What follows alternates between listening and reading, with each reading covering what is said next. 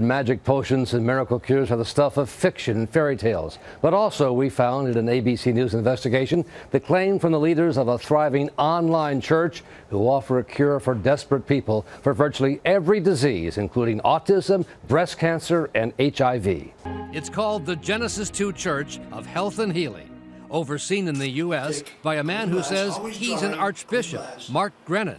This is our sacrament claiming that what's in this glass is a miracle cure for the most serious of diseases. To find out what's in the miracle cure, we ordered a shipment, $150 for these small bottles, and took them to our respected testing laboratory. Nothing miraculous about it, essentially a kind of chlorine. MMS is an industrial chemical. It's an industrial bleach. In fact, look what happened when we poured some of it undiluted onto a pair of jeans. The denim turned white through both pant legs. Even at the prescribed much smaller dose, experts say it's still a danger for anyone to drink. The fact that anybody would suggest that you should give this to somebody is ridiculous. This is scary, dangerous stuff. But to the outrage of medical professionals, the church, using slick online videos, is aggressively pushing the miracle cure, shipping millions of bottles to people all over the world. I'm just getting into a prophetic vein. Someone with a digestive tract problems, quickly called. We've seen midgets grow. We've seen arms and legs that stop growing because the growth cells that stop. I don't make this stuff up. Tilton takes in so much money, he makes other TV ministers look like amateurs. And I want you to make a $1,000 vow of faith. Oh, I know you probably don't have a $1,000, but vow it. Try to find out how much money Tilton makes, and you discover the ministry is shrouded in secrecy. But Primetime obtained some of Tilton's financial documents. These are daily deposits, and based on these, Tilton's followers sent his ministry conservatively $80 million a year, tax free. Tilton sends out an avalanche of things he asks viewers to send back to him. Miracle prayer claws he promises to touch and place upon an altar. Cords he says he'll place on a wall of deliverance arrows he'll use to take aim at a sufferer's needs. A tracing, place your hand there and he'll put his hand there too. There's holy water from the River Jordan, miracle anointing oil. The letters accompanying the items are written by ghost writers to pressure followers to write back and make donations too. Does it work? People send them in by the truckloads. That the mail doesn't go to Tilton. It's forwarded unopened to Tilton's bank in Tulsa. So the bank opens the follower's mail, not to share the agony, but to get the money. The bank opens the letters that come right. back in. And takes your money and puts it in your account. All we get is the paper document and how much the person gave. And those items that people have prayed over and sent in, believing Robert Tilton would touch them and pray over them too. Well, if some made it to Tilton, there are thousands that didn't.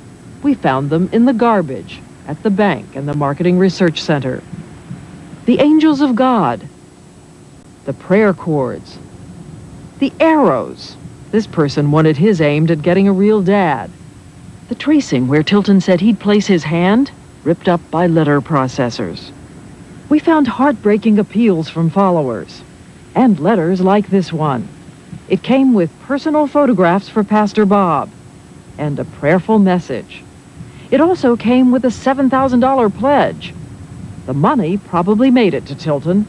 The prayers went in the trash. Do you have anybody here with a short hand? One hand is shorter. I broke my hand when I was younger. So? Uh, one is longer than the other. Let's see. Let's see. Put leg straight. Put the leg straight. Together. Put a... She said that one of her hands is longer than the other. But is this true? Here, we can see that her hands are the same. She forgot to do the cheap hand trick. Hands like this.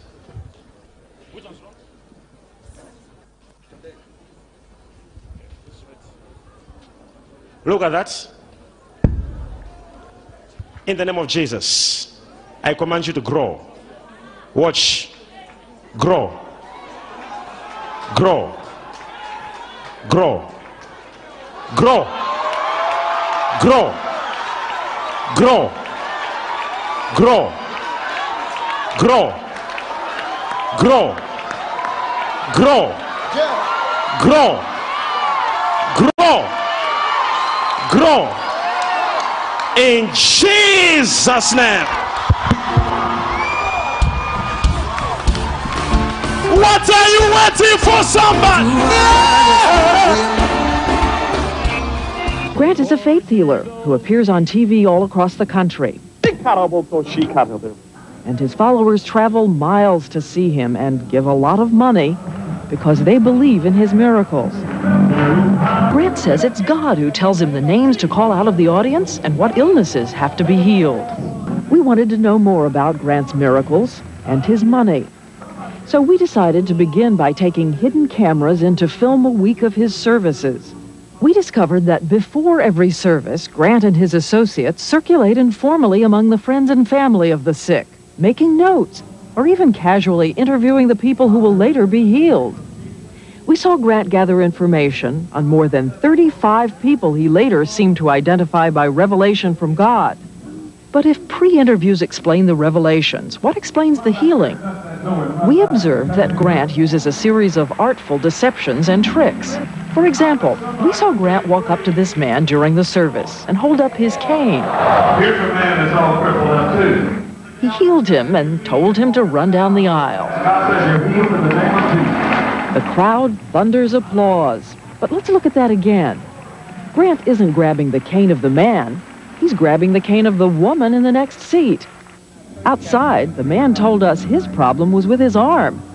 He had never had any trouble walking. That was my cane. That was the lady. And when we questioned the people Grant had lifted out of wheelchairs, everyone we talked to said they could walk all along. Could you walk at all before you came? Here's what happened when Grant called up this woman. Her name is Diane Doherty. Grant hadn't talked to her, but before the service, he had talked to this woman, her friend, Kelly Sutherland. He didn't know that both of these women worked for prime time. Has she been sick? She slipped a disc last year and and uh, has been in pain ever since. Did she lift something or? She was lifting a suitcase. But when Grant called Diane up, it seemed the information had just come into his head.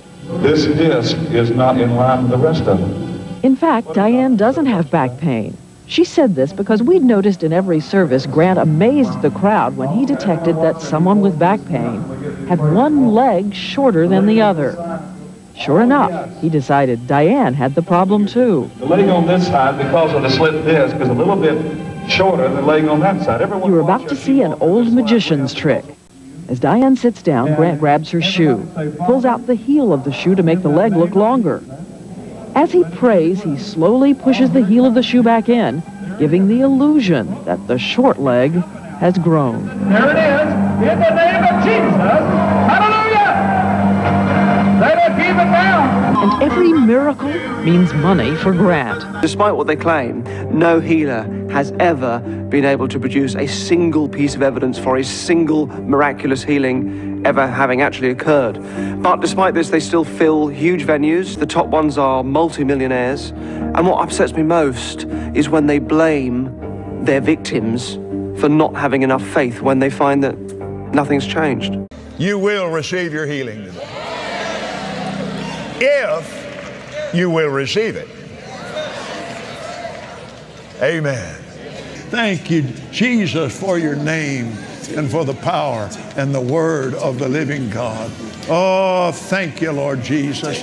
Thank you, Lord Jesus. Praise God. This is what happens when Kenneth Copeland prays for you. Absolutely nothing. Now, Oral used to fly airlines, Right. but it, even back mm-hmm. there then, man, mm-hmm. it, it got to the place where it was agitating his spirit, Sure. people coming up to him. He Right. had become famous, and they wanting him to pray for him and Right. all that. You, you can't. You, you can't manage that today. Right. The- this dope-filled world, Right. and get in an air, get in a long tube with a bunch of demons, Right. That's exactly the and it's it's deadly. And we caught up with Reverend Copeland in Branson, Missouri. You said that you don't like to fly commercial because you don't want to get into a tube with a bunch of demons. Do you really believe that human beings are demons? No, I do not. And don't you ever say I did. If I flew commercial, I'd have to stop 65% of what I'm doing.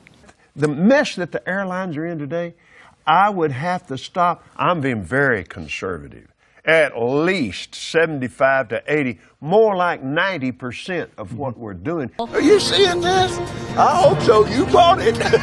How much money did you pay for Tyler Perry's Gulfstream jet, for example? Well, for example, that's really none of your business. But Isn't it the business of your donors? listen, he made that airplane so cheap for me, I couldn't help but buy it. And you have some fancy clothes. I mean, for a pastor, you are living a life of luxury. you've got great homes, you've got great planes. You you drive in limos I'm a and very wealthy man. you're a very wealthy man. Yes. Yeah. If if you go into the old covenant, do you think the Jewish people believe you should be broke? Are you saying that Jewish people appreciate money more than really? They believe in wealth. Some people would find that offensive. No, wait a minute now.